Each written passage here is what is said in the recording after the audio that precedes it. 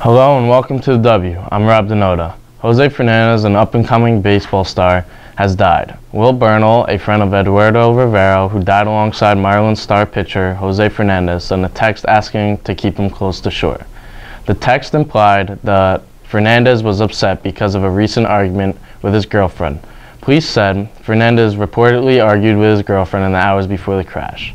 Jeff Passan, an MLB columnist, told Yahoo News that Fernandez's girlfriend was pregnant and Rivero, a brother-like friend, in an attempt to support the Marlins star pitcher, Fernandez insisted on going out, and Rivera couldn't say no.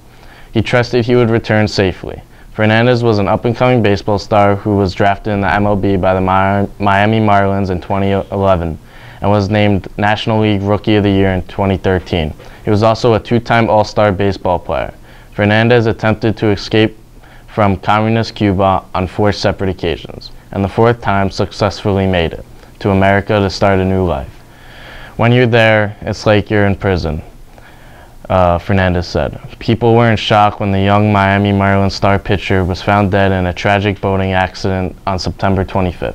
The former Rookie of the Year has left behind a lot a pregnant girlfriend, a family, and a baseball legacy. With Fernandez's death, baseball has lost an amazing player and person that will never be forgotten. I'm Rob Denota, and this was The W.